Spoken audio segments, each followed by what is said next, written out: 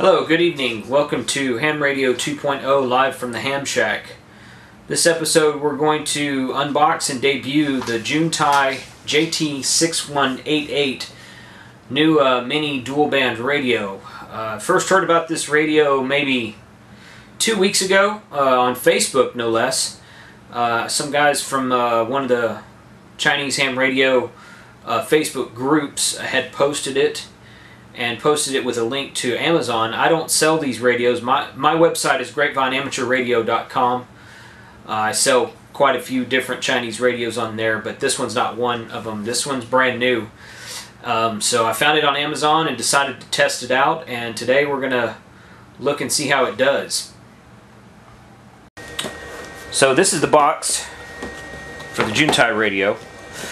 Uh, received it in the mail today. I didn't even know what it was. It's just a blank box. There's no markings on it whatsoever. Open it up, and we see the content here. Actually, I opened it up already and took the plastic. There's a plastic cover over the microphone. But uh, this is your microphone, standard DTMF, RJ45 plug. this is the power cable. It comes with the cigarette lighter adapter on the end of it and a standard T-prong on the other end. So of course if you have the standard T-prong it's uh, interchangeable with it. This right here, yeah, this this cable, this wire is awfully thin. I'd say that's probably about 14 gauge right there. That surprised me. I thought it'd be uh, for for pulling the wattage that it's supposed to pull. I thought it would be thicker cable than that, but and you got your mounting bracket. This is the radio. It's pretty small. If you're familiar with the Leixen uh, VV898, it is uh, it's about the same size as that radio. Let me shut the AC off right here real quick. That produces some noise in the background that I don't like. So anyway, that's the uh, that's the radio there. Got a knob here. It's got knobs on it, unlike the uh, unlike the Leixen. Um, nothing on the bottom a semi decent heat sink on the top. We'll see later how the heat dissipates on that. An internal speaker.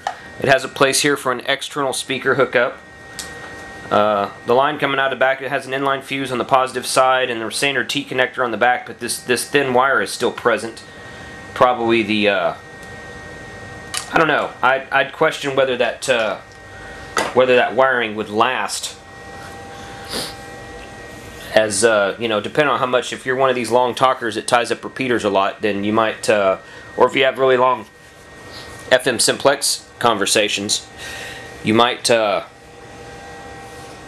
might burn up that wire. You never can tell.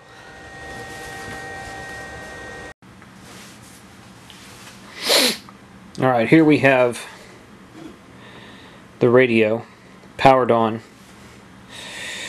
You've got your standard menus here. Transmit power is menu number three. Only has two settings, low and high. It does not go to 2.5 kilohertz. Goes 5, 6.25, 10, 12.5, 25, and back to 5. So it does not go to 2.5 kilohertz step. Squelch is auto set to 2.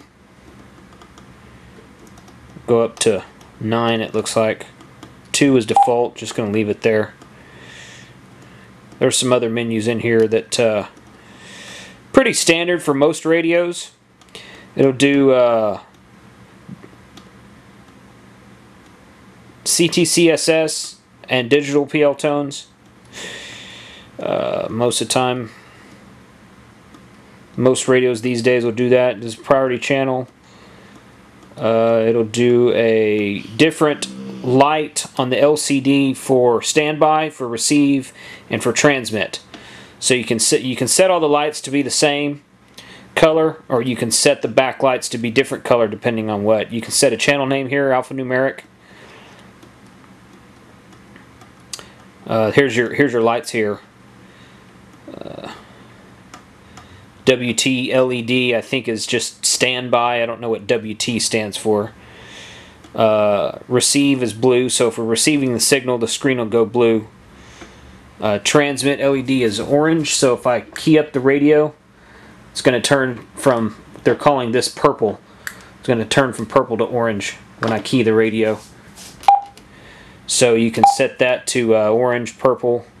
You can turn it off, that's off right there, or you can set it to blue. Uh, memory channels.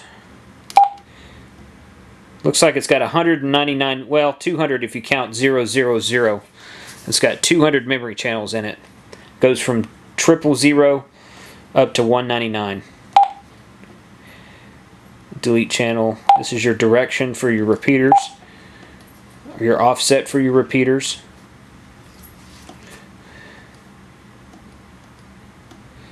Reset all. You can factory reset the radio from there and goes back to the steps. So it's your standard uh, standard menus. Uh, nothing special, nothing uh, nothing too fancy. It doesn't have the two tone or the five tone. Not that you really expected. It does not go to 2.5 kilohertz. I was disappointed about that.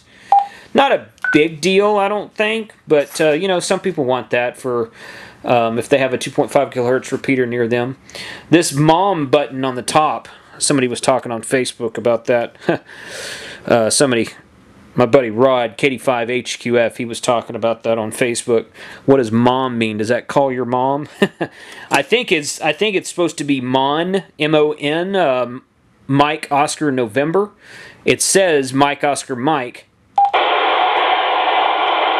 but clearly it's a monitor button. So Chinese lost in translation there. You got your call button. Uh, you got your uh, V button down here, your uh, uh, VFO memory channel.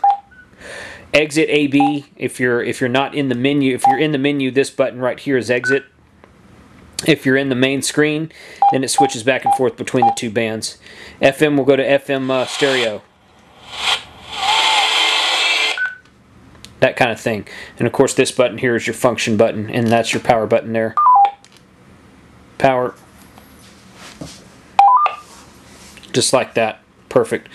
So the moment of truth, what we uh, what we really want to know about this sucker, and I think this is kind of neat, although at the same time I think it's kind of a waste. Uh, it's advertised to do 25 watts on uh, both bands, and it pretty much does that. Um, my meter here, this is an MFJ uh, 873, uh, 2 meter, 220, 440 meter to go up to 525 megahertz.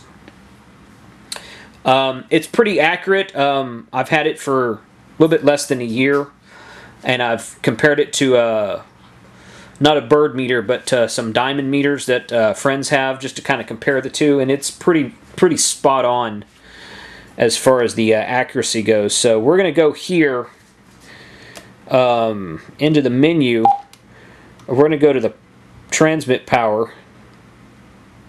And it's currently set to low. Again two settings low and high.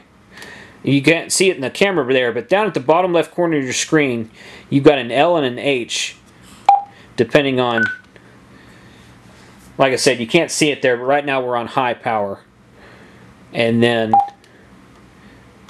change it to low power puts an L at the bottom left corner of your screen. Anyway, so we're on, uh, we're going to go to 2 meters right now.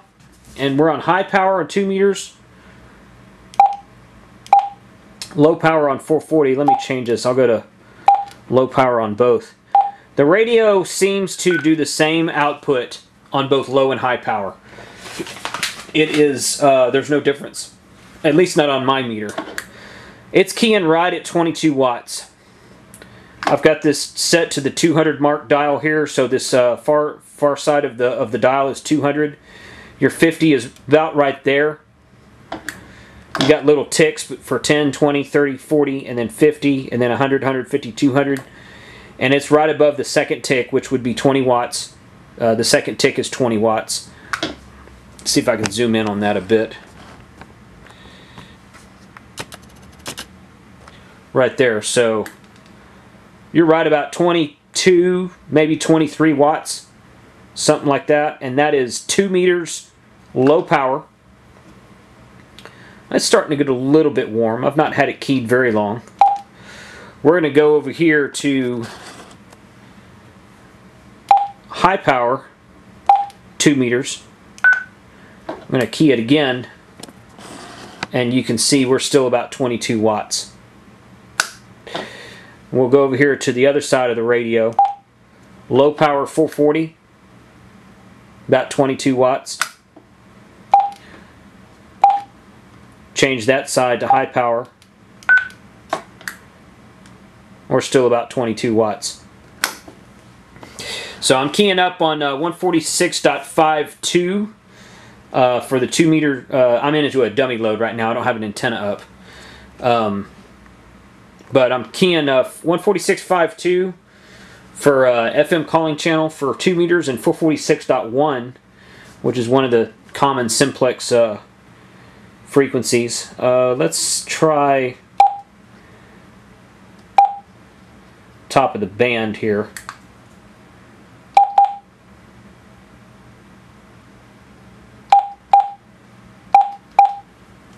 Four forty nine dot nine nine five. You're still about 22 watts. 420.0. Uh, drop down a little bit. It's about 20 watts at 420.0. Let's see, 2 meters.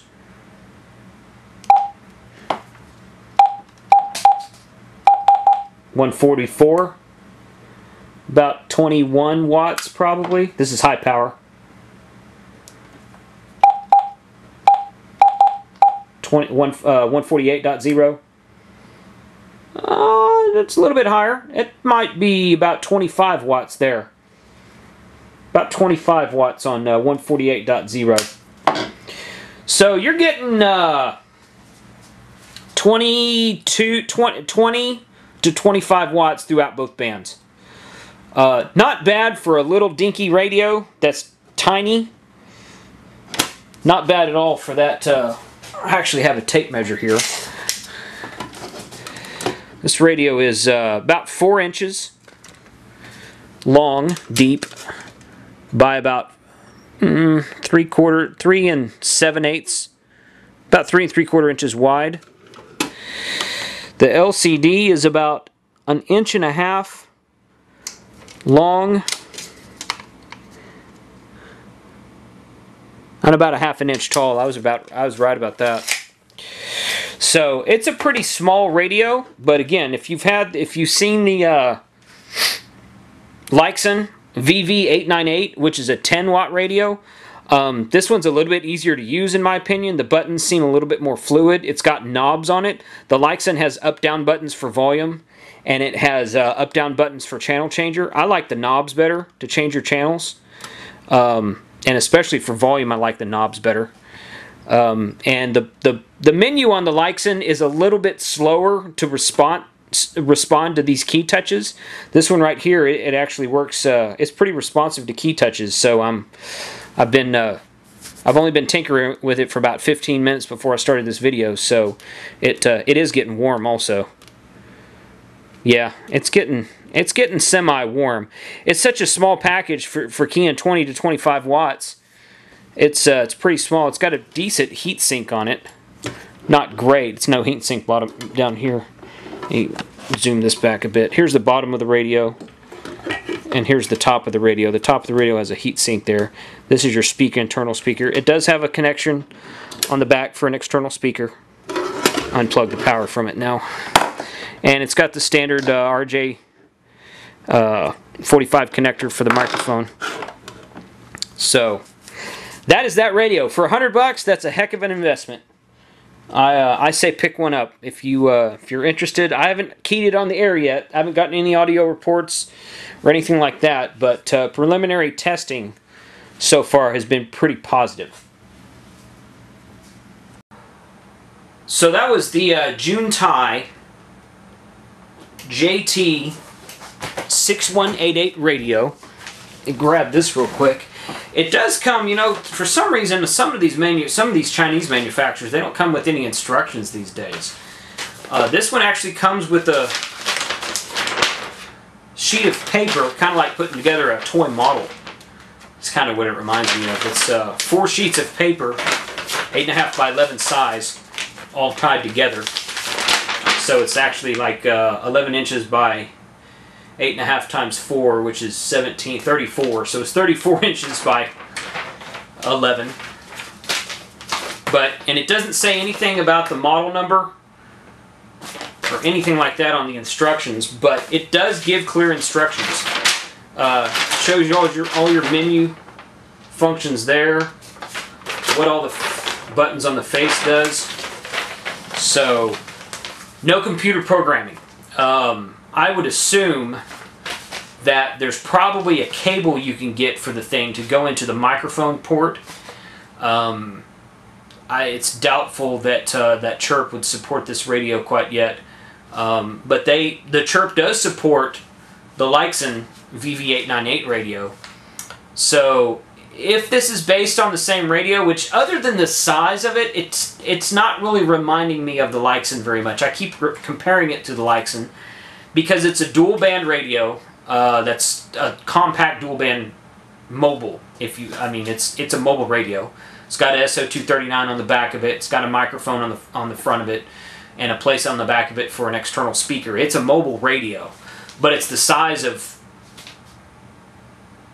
I don't know. It's the size of basically like well, I measured it for you a minute ago. It's it's the uh, it's just little bit the form factor is just a little bit not counting the microphone and the and the antenna wire. The form factor is just a little bit bigger than an HT. So it's a good radio. I mean, I say it's a good. radio. It's a neat looking radio. I'm glad I got it. I'm looking forward to trying it and seeing what kind of audio reports I get on it. So appreciate uh, appreciate you guys watching this video. Uh, subscribe to my YouTube channel. I'm going to be putting up uh, more videos about more radios. You got a radio that you want me to review? Shoot me an email, uh, kc5hwb at grapevinehamradio.com, uh, or just comment on my one of my YouTube videos and say, "Hey, would you do this one?" Uh, I'd love to see uh, love to see some comments up there. Thanks, guys. 73. Have a good evening.